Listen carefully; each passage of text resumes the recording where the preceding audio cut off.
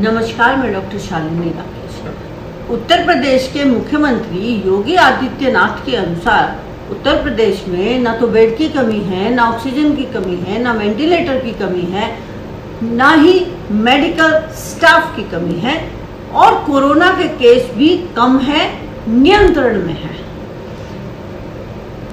और खबरदार अगर किसी ने कोई भी भ्रम फैलाने की कोशिश की तो उसको जेल में डाल दिया जाएगा।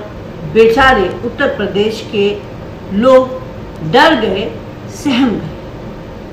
कुछ एक ने आवाज़ उठाने की कोशिश की तो उनको जेल में डाल दिया गया। उन पर मुकदमे कर दिए गए। जैसे कि आपको याद हो कि अमेठी में एक मुकदमा इस तरह का भी देखा गया था। उन्होंने सोशल मीडिया पर ऑक्सीजन की मांग करी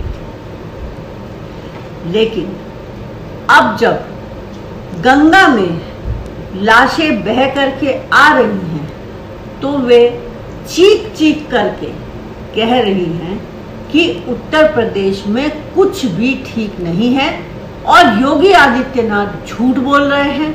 उत्तर प्रदेश के अंदर स्वास्थ्य सेवाएँ वेंटिलेटर पर हैं, क्योंकि आपने कभी स्वास्थ्य सेवाओं के बारे में सोचा ही नहीं। आपने स्वास्थ्य सेवाओं का बजट कभी बढ़ाया ही नहीं। राम की गंगा कभी भी इतनी मैली नहीं थी जितनी इस बार भाजपा सरकार में हो गई है। नदी के अंदर शव बह करके आ रहे हैं, कुत्ते उनको नोच रहे हैं, गिद्ध ऊपर से मंडरा रहे हैं। और इस पर भी। आलम यह है कि यूपी वाले बोल रहे हैं कि नहीं नहीं, ये हमारे यहाँ की नहीं है, ये बिहार की है। बिहार वाले बोल रहे हैं कि नहीं नहीं, ये हमारी नहीं है, ये उत्तर प्रदेश से बह करके आ रही है। सवाल यह नहीं है कि वो लाशें उत्तर प्रदेश की हैं या बिहार की है। बहरहाल, गंगा तो उत्तर प्रदेश से बिहार की तरफ़ ही बहती है। पहले, सबसे पहले बारह शव हमीरपुर में देखे गए थे, जो कि उत्तर प्रदेश में आता है।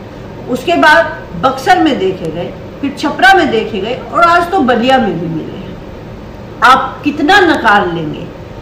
चाहे ये बिहार के हैं या उत्तर प्रदेश के हैं, लेकिन हैं तो भारतीयों के और हिंदू भी हैं। आप तो बड़ा हिंदू राग का रोना रोते रहते हैं ना कि हिंदू राष्ट्र हिंदू राष्ट्र। अरे, ये तो हिंदू है। लोगों के पास अब अंतिम संस्कार के लिए भी पैसे नहीं है।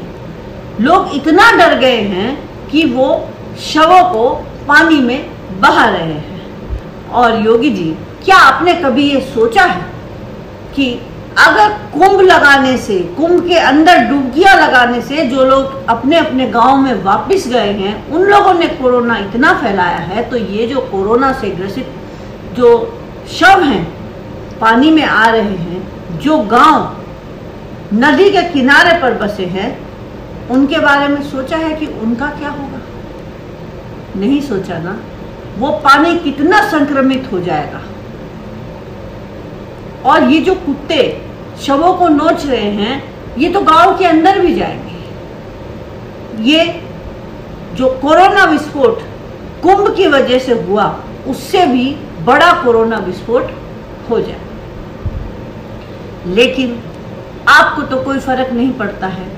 कुंभ के बाद भी आपने यूपी में पंचायत चुनाव करवा दिए, जो कि सोने पर सुहागा हो।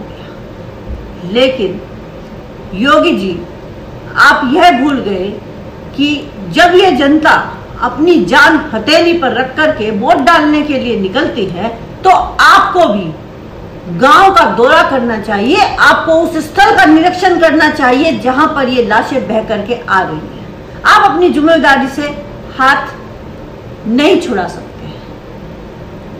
जनता ने जो आपको टैक्स का पैसा दिया है, वह धार्मिक आयोजन करने के लिए नहीं दिया है, वह भाजपा के कार्यालय बनाने के लिए नहीं दिया है। अपितु उन्होंने ये पैसा स्वास्थ्य सेवाओं के नाम पर दिया था ताकि उन्हें बेहतर स्वास्थ्य सेवाएँ मिले।